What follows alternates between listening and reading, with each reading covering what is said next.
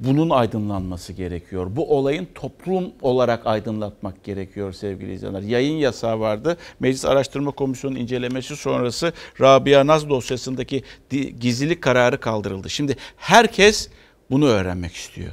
Rabia Naz'a ne oldu? Videosunu izliyorum, otopsi videosunu. Adalet neler izletiyor?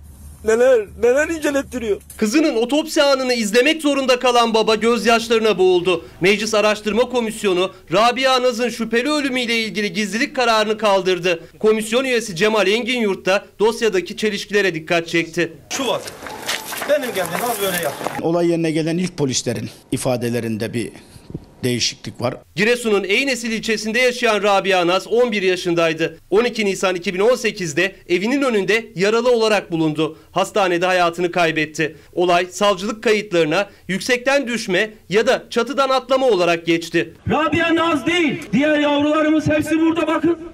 Diğer yavrularımız için. Çünkü bunlar insanlık suçudur. Baba Şaban Vatan kızının trafik kazasında öldüğünü, bulunduğu yere yaralıyken getirildiğini öne sürdü. Siyasetçilerin olayı kapatmak için devreye girdiğini de. Böyle adalet yerin dibine bassın. 26 Nisan 2019'da Rabia Naz dosyasına gizlilik kararı getirildi. Şüpheli ölümünü araştırmak için kurulan Meclis Araştırma Komisyonu Eynesil'e gitmeden bir gün önce de küçük kızın tırnaklarında bir erkeğe ait DNA örneğine rastlandı. Elinde nazar boncuklu. Yani ayrıntı belirtti. Tabii nazar boncuklu çanta vardı, maket çantası vardı. 12 kişilik komisyonun ziyaretinden hemen sonra dosya üzerindeki gizlilik kararı kaldırıldı. Komisyonun MHP'li üyesi Cemal Engin Yurt Fox Haber'e konuştu, çarpıcı bilgiler paylaştı. İntihar olmadı.